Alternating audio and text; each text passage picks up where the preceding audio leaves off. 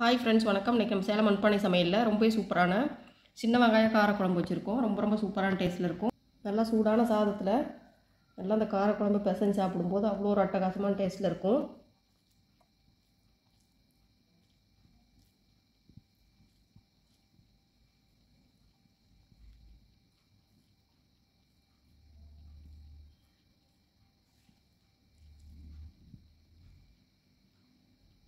இந்த ரெசிபி எப்படி செய்கிறதுன்னு பார்க்கலாம். அதுக்கு முன்னாடி நம்ம சேனலில் சப்ஸ்கிரைப் பண்ணிக்கோங்க. வீடியோஸ் எல்லாம் ஃபுல்லாக பாருங்கள் உங்கள் ஃப்ரெண்ட்ஸ்க்கும் ஷேர் பண்ணுங்கள் லைக் பண்ணு ஃப்ரெண்ட்ஸ் வாங்க இந்த ரெசிபி எப்படி செய்கிறதுன்னு பார்க்கலாம். இப்போ அந்த குழம்பு பண்ணுறதுக்காக கன்சட்டியில் மூணு ஸ்பூன் ஆயில் சேர்த்து ஹீட் பண்ணி வச்சுருக்கேன். எண்ணெய் நல்லா சூடாயிருச்சு. நல்லெண்ணெய் இருந்ததுன்னா சேர்த்துக்கோங்க. அது ரொம்பவே சூப்பராக இருக்கும் டேஸ்ட்டு அது எண்ணெய் சூடானதும் இது கூட ஒரு ஸ்பூன் அளவுக்கு தாலி புடவை இருக்கு இல்லையா? அந்த தாலி புடவை ஒரு ஸ்பூனும் ஒரு ரெண்டு மூணு காஞ்ச மிளகாய் இது போல் கிள்ளி வச்சுருக்கேன். இது அப்படியே சேர்த்துடலாம். இந்த குழம்புக்கு இது வந்து நல்ல ஒரு ஃப்ளேவரை கொடுக்கும்.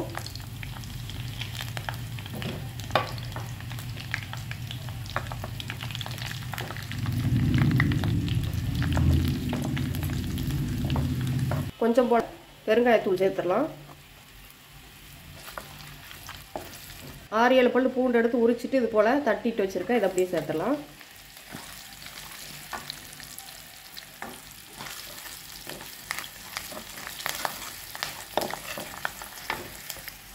இப்போ இதில் ஒரு முப்பது முப்பத்தி அஞ்சு அளவுக்கு சின்ன வெங்காயம் எடுத்து உரிச்சிட்டு இது போல் கட் பண்ணாமல் எடுத்து வச்சுருக்கேன். அதை அப்படியே சேர்த்துடலாம்.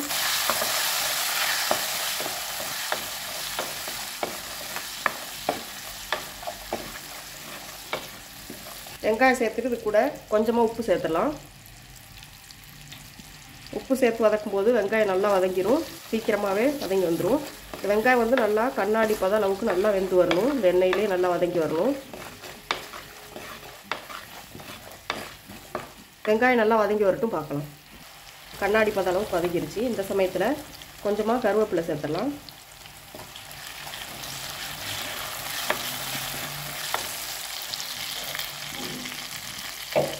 ரெண்டு மீடியம் சைஸ் தக்காளி எடுத்து நல்லா அரைச்சி வச்சுருங்க பேஸ்ட்டு மாதிரி.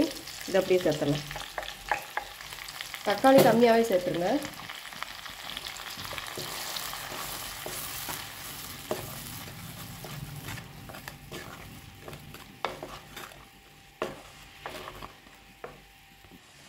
தக்காளி சேர்த்துட்டு இப்போ இது கூட மசாலா சேர்த்துக்கலாம்.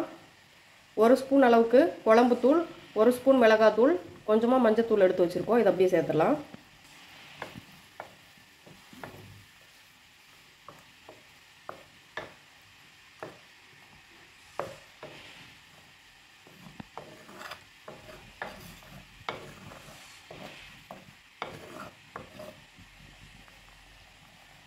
இப்போ அதை நல்லா கொதிச்சுட்டு எண்ணெய் பிரிஞ்சு வரணும். அது வரையும் கொதிக்கிட்டு பார்க்கலாம். நல்லா எண்ணெய் பிரிஞ்சு வந்துருச்சு. இந்த சமயத்தில் புளி சேர்த்துக்கோங்க. எண்ணெய் பிரியாத முன்னாடி புளி சேர்த்துட்டோம் அப்படின்னா ஒரு மாதிரி கடுத்த மாதிரி இருக்கும். ஒரு எலுமிச்சப்பட அளவு புளி எடுத்து ஊற வச்சு கரைச்சி எடுத்து வச்சுருக்கேன். அப்படியே அந்த புளி தனியாக அதில் சேர்த்துடலாம்.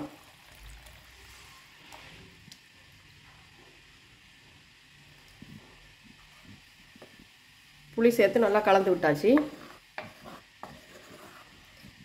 இப்போ உப்பு செக் பண்ணிக்கோங்க. உப்பு கம்மியாக இருந்ததுன்னா அந்த சமயத்தில் சேர்த்துக்கோங்க. நான் வந்து புளி கரைக்கும் போதே அதிலே கொஞ்சமாக கல் உப்பு சேர்த்து கரைச்சி எடுத்து வச்சிட்டேன். அதனால் நான் இப்போ உப்பு சேர்க்கல. நீங்கள் உப்பு செக் பண்ணிவிட்டு உப்பு சேர்த்துருங்க. இவ்வளோதாங்க குழம்பு நல்லா கொதித்து எண்ணெய் பிரிஞ்சு வரட்டும். பார்க்கலாம். குழம்புல நல்லா எண்ணெய் பிரிஞ்சு வந்துருச்சு. ரொம்ப ரொம்ப சூப்பராக வந்து நல்ல கம கமன்னு வாசனையோட சின்ன வெங்காய காரக்குழம்பு ரொம்ப சூப்பராக ரெடி ஆயிடுச்சு இதோட டெக்ஸ்சர் பாருங்கள் இந்த அளவுக்கு இருக்கணும். இந்த மாதிரி இருந்ததுன்னா சாதத்துக்கும் சாப்பிட்டுக்கலாம் சப்பாத்தி தோசைக்கும் சாப்பிட்டுக்கலாம். இப்போ இது கூட கடைசியாக கொஞ்சம் போல் வெள்ளை சேர்த்துடலாம்.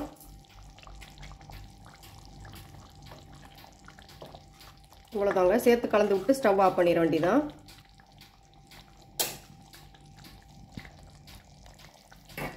ஸ்டவ் ஆஃப் பண்ணிவிட்டு கடைசியாக கொஞ்சம் போல் கருவேப்பிலை எடுத்து இது போல் கிள்ளிட்டு அப்படி சேர்த்துருங்க.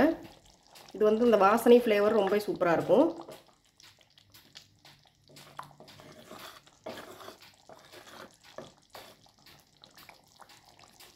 இவ்வளோதாங்க கண்டிப்பாக நாங்கள் சொன்ன இதே அளவுகளில் இதே பொருட்களை வச்சு நீங்களும் இதே போல் காரக்குழம்பு செஞ்சு சாப்பிட்டு எப்படி இருந்ததுன்னு சொல்லி கமெண்ட் பாக்ஸில் கமெண்ட் பண்ணுங்கள் இன்றைக்கி இந்த ரெசிபி பார்த்தாச்சு. நாளைக்கு வேறு ஒரு ரெசிபியோட இன்னொரு வீடியோவில் சந்திக்கலாம். நன்றி.